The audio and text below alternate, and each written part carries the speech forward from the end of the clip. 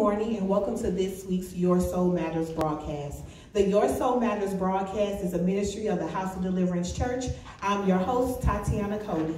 It is my hope that this broadcast and the message you're about to hear will inspire you, encourage you, and convince you that your soul truly does matter. It matters to God, it matters to us here at the House of Deliverance Church, and we hope that it matters to you. Let's welcome our speaker who will be delivering today's word, Minister Courtney Johnson. Thank you.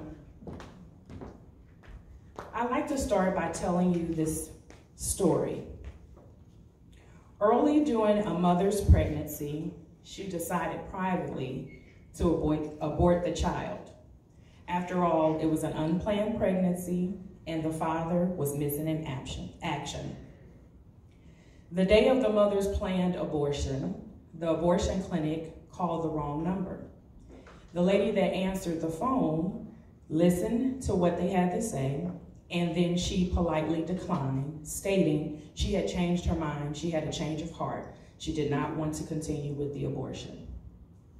Later on the, that day, this mysterious woman ran into the woman who the call was intended for. She urgently encouraged her not to have the abortion. So what the clinic ended up doing was they called the neighbor to this mother. The neighbor happened to be the mother of the pregnant woman. So we move forward. This child is inevitably born. It's a girl. Watch our word. this girl experiences her shares of the worst and the best of life. To share, she was almost murdered before she was five years old. She was bullied during elementary school. She became extremely sexually active throughout her middle school years. Seeking validation, love, worth, purpose, she got caught up with the wrong crowd. You know the types.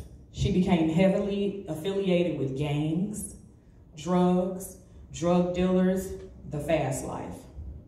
She got entangled with violence, recklessness, and self-hatred to the point she didn't care if she lived or died.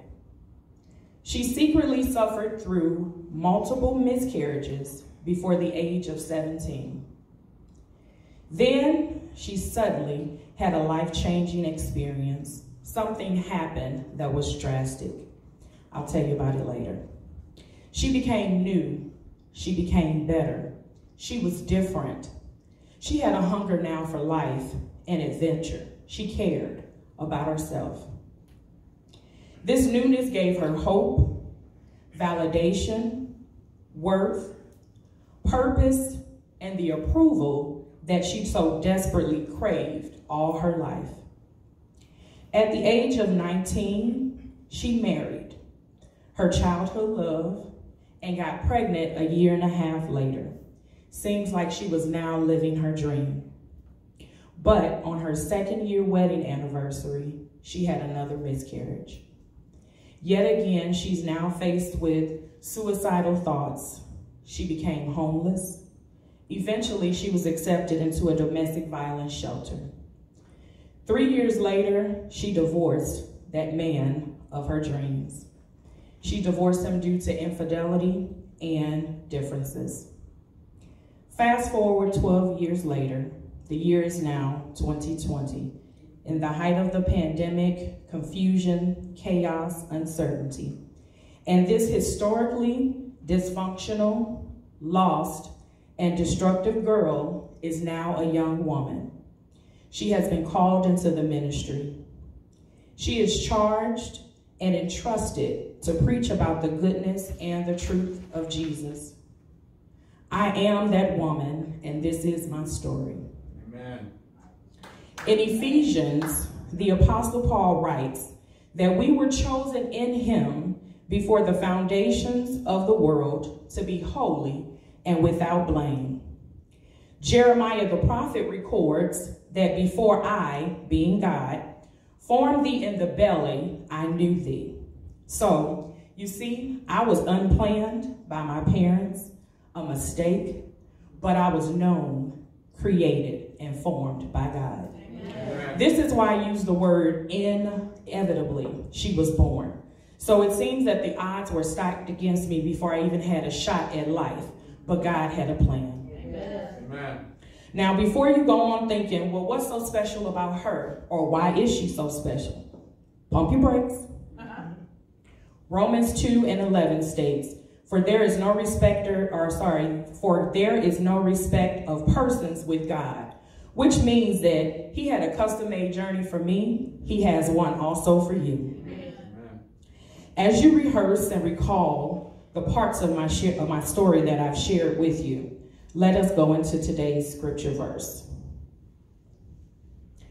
The Spirit of the Lord God is upon me, because the Lord hath anointed me to preach good tidings unto the meek.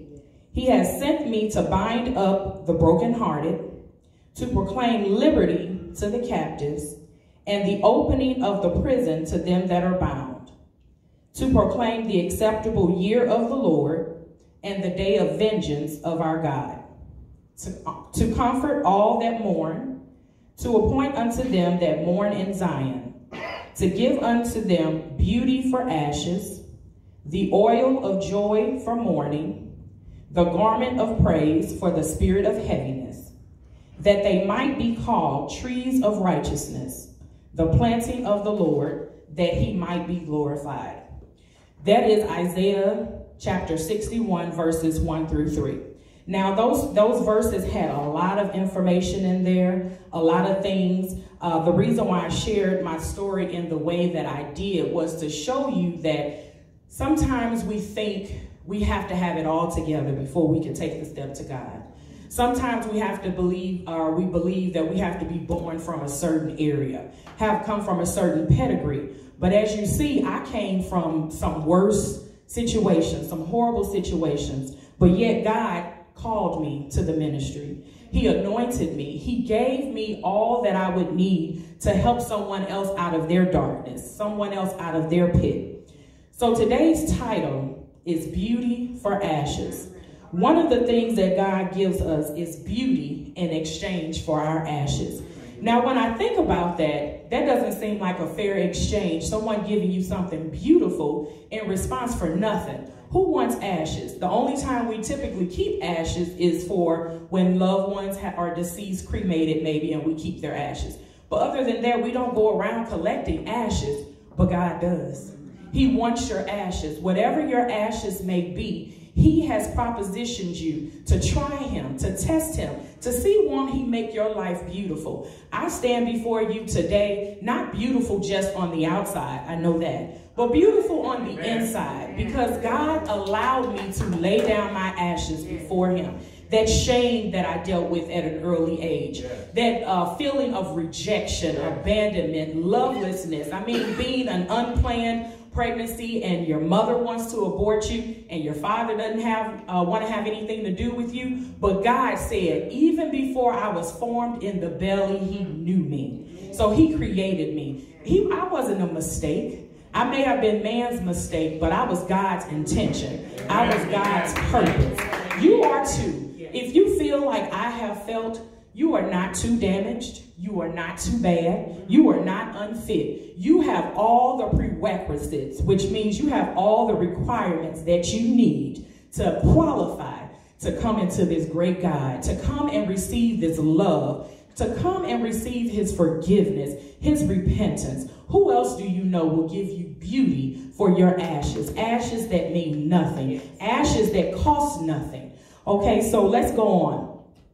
As I stand before you today in the beauty of holiness, as I said, is because I gave God my ashes, my failures, my mistakes, my embarrassments, my sufferings, my trouble, my very life. I came to Jesus. That drastic change that I mentioned earlier was me receiving salvation. Came to Jesus naked, saying, This is who I am. This is what I've done. I don't know what you can do with it, but I'm willing to give you a try. I was all in. You too have to be all in. You have to forsake everything that you know, everything about your life that may be good. Forsake it all. Give it to God. Let Him burn it up. Let it become your ashes in exchange for God's beauty. Are your ashes too heavy for you today? Do you want a relief?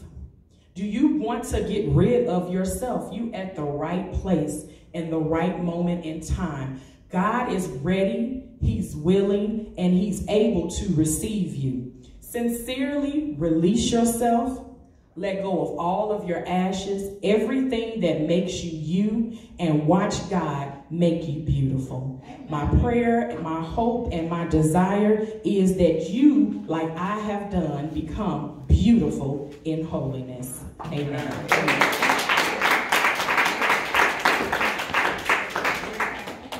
Amen. Amen. I truly hope the words you just heard were a blessing to your soul. As the minister said, God wants your ashes, whatever they are. God wants to beautify you. He wants to heal you. He wants to remove the damage that you feel, or you feel like you're damaged, but God wants to save you. Come to Jesus. If you are looking to learn more about God, come visit us. Information can be found on our website at hodchurch.com. If you would like someone to talk to or would like to receive prayer, please call 1-800-741-SOUL or 1-800-741-7685. We look forward to seeing you next week at the same time for another inspired message and messenger. Until then, don't forget, your soul matters. Amen.